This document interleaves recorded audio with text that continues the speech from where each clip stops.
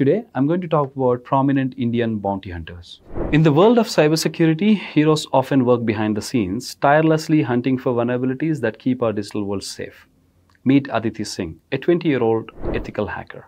From Snapchat to Facebook, she has uncovered critical bugs, earning her acclaim as a security analyst and a trainer. Then there's Bhavuk Jain, an engineer from Ghaziabad. In a single day, he pocketed 75 lakh rupees by exposing flaws in Apple's sign-in feature, solidifying his place among the elite. Akhil George, a 23-year-old engineering graduate, is another unsung hero. With his expertise, he has earned 66 lakh rupees by uncovering vulnerabilities in tech giants like Google and Facebook. Narendra Bhati, a security professional from Pune, has amassed over 80 lakh rupees in just months. His keen eye has exposed flaws in platforms like Uber and Airbnb.